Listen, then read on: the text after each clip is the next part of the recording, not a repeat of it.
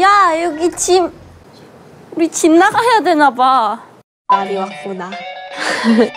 휴가 끝. 충격적이었어요. To 블랙핑크. 지난 100일간의 휴가는 어떠셨나요? 아쉽지만 오늘이 블핑하우스 마지막 날입니다. 떠날 짐을 모두 정리하고 오늘 단 하루 남은 블핑하우스 휴가를 마지막처럼 네, 안 와 있으면 어떡하지? 이것도 걱정됐는데 너무 막 추울 것 같아서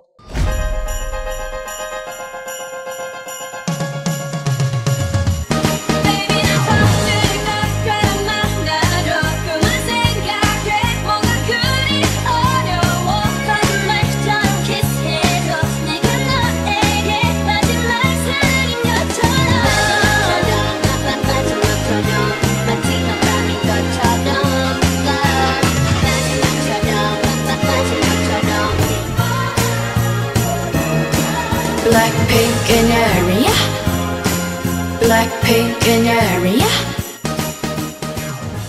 저택은 네. 남극입니다 우와